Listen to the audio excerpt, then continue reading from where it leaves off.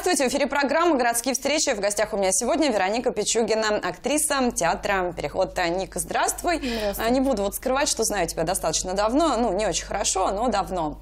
И вот тут такие новости, что ты у нас теперь режиссер. Ну, есть такое дело, только режиссер уже, наверное, не театральный, а киношный. То есть большую часть жизни, ну, я не могу сказать, что у меня еще жизнь закончилась еще, но а, большую часть молодости, хорошо, я мечтала снимать кино. Но долгое время мне казалось, что это невозможно, что это только Голливуд, что это большие деньги. А здесь выпал случай, что есть знакомые ребята, которые тоже этим давно увлекаются, занимаются, и мы решили попробовать объединить это все в команду и попробовать создать свой первый проект. Вот, и поэтому теперь мы занимаемся режиссурой фильма «Кастинг», вот такое у нас название. Этот проект мы уже, наверное, около пяти лет. Ребята его придумали, это Галя Ершова и Станислав Кудряшов. Они придумали его очень давно, написали сценарий, но, к сожалению, не удалось это все воплотить. Ну, то есть это пять лет вот так вот звезды располагались и наконец-то да, сошлись. наконец сошлись, да, причем сошлись очень интересно. Мы встретились с Галей на работе, пообщались. Я говорю, ну, ребят, в чем проблема? Давайте объединяться. Мы сколько раз увидимся на каких-нибудь мастер-классах киношных, еще где-то говорим, да, надо объединяться, и не объединяемся. Я говорю, давай сейчас попробуем. Они говорят, ну, давай соберемся, мы расскажем, что у нас есть, ты расскажешь, что у тебя есть. Собрались, пообщались и решили, что, оказывается, у них есть проект, которому уже реально пять лет, и он реально пока еще не сделан. Я говорю, ну а в чем проблема? Давайте, вам что не хватает? Стас говорит, ну я умею снимать. Галя говорит, я умею продюсировать, собирать людей, организовывать. Я говорю, ну а в чем проблема? Я могу работать с актерами и, в принципе, могу что-то сама играть. Он говорит, ну здорово, давайте попробуем. Ну и так вот родилась идея до конца доделать фильм-кастинг. И сейчас уже, получается, с того времени прошло, наверное, два месяца, но мы уже успели отснять э, большую часть фильма, такую самую сложную сцену, которая у нас на улице находилась. Потому что время поджимало, начали встречаться где-то под конец лета, а съемки и должны были быть такие летние, осенние. И поэтому сейчас мы успели осенью все это доснять. И у нас остался достаточно тоже большой период, но он уже э, в студии, в помещении. То есть это все проще и больше времени у нас есть для того, чтобы порепетировать с ребятами. Вот, и поэтому мы вот так уже действуем. Если вкратце, то о чем фильм и когда и где мы его увидим в итоге?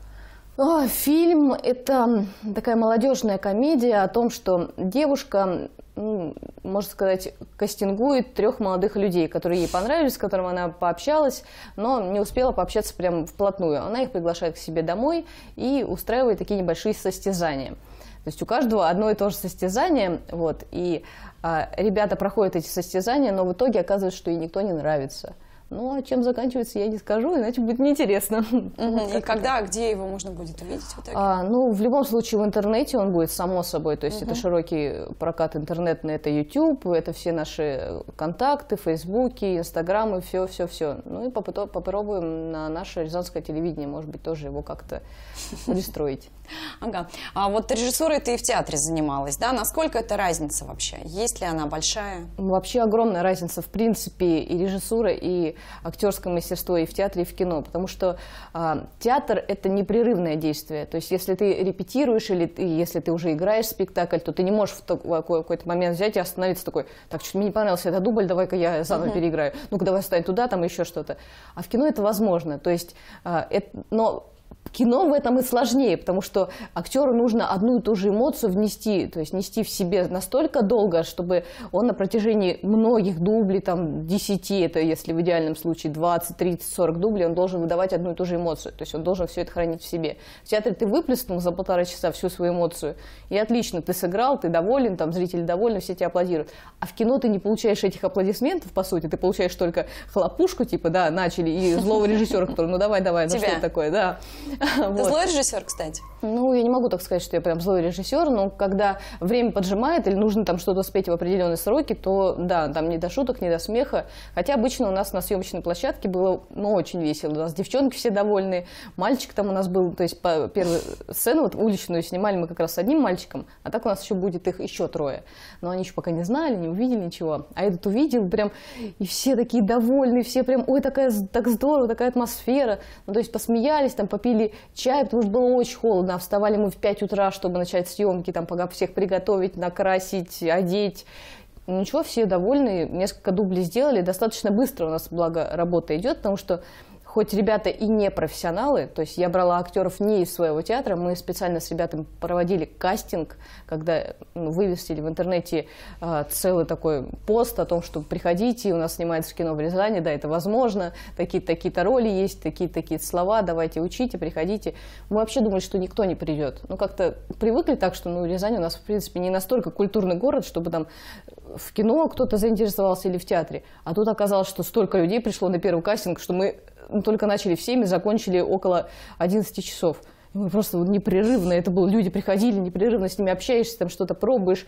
Ну, это потрясающе. То есть название практически с самого начала стало себя оправдывать? Да, да, да, да, да. Название кастинг прям в точку попало и в название фильма, и в нашем кастинге, который мы смогли провести в Рязани. Ник, ну вот ты сама сказала, что в театре практически всю жизнь, да? А ты творческий человек, это понятно, видно. А вот как вообще на жизни твоей это отражается?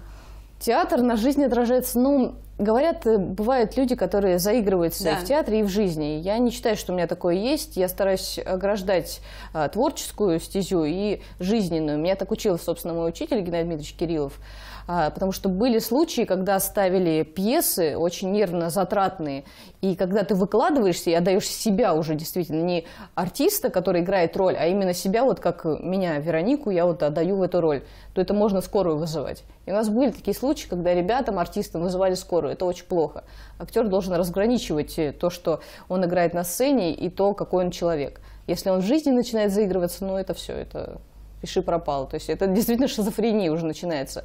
Наверное, поэтому многие актеры испиваются и там не выдерживают каких-то потрясений. Потому что, ну, я считаю, что, в принципе, творческая, любая творческая профессия – это затраты для души, это человек очень чувственный, очень с тонкой душевной организацией. Именно поэтому его задеть очень легко но стараюсь как-то все это ограждать в своей жизни. Стараюсь, ну, играю, наверное, только в тех случаях, когда ставят какой-то новый спектакль, ну, там, на своем молодом человеке, да, и начинаю с ним отрабатывать какие-то там реплики. Но он это знает, то есть он мне подыгрывает в плане того, что я ему даю текст, говорю, Стас, давай вот то-то, то-то, помоги мне прочитать. Он говорит, да, все хорошо.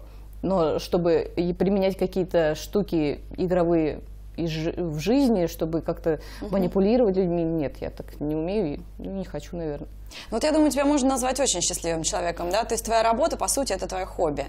Ну, с одной стороны, да, но в, все равно есть такое понятие, как деньги. А, театр и кино – это не такие сейчас большие деньги, по крайней мере, в нашем городе. Поэтому, само собой, приходится заниматься и другими профессиями. Я сама же по профессии журналист, по сути. А, стараюсь заниматься и этой профессией, и пишу плюс сценарий, потому что мне это тоже нравится. А, и занимаюсь преподавательской деятельностью. Но благо преподаю актерское мастерство, то, что мне, опять же, близко ну, как-то вот так вот крутимся, вертимся, как можем. А как твои близкие отреагировали, когда узнали, что ты фильм будешь снимать? Сказали, вау, круто, или они уже привыкли? Что я всегда что-то... Да, да, Но вообще они, да, они на самом деле и привыкли, и с другой стороны, в принципе, да, они порадовались, потому что меня, собственно, почему я решила, решилась таки снимать кино, Хотя, опять же говорю, мне и многие говорили, и до этого мои близкие говорили, зачем тебе это надо, там, и друзья говорили, да ладно тебе, ну что ты брось, я уже сколько лет за, заканчивай.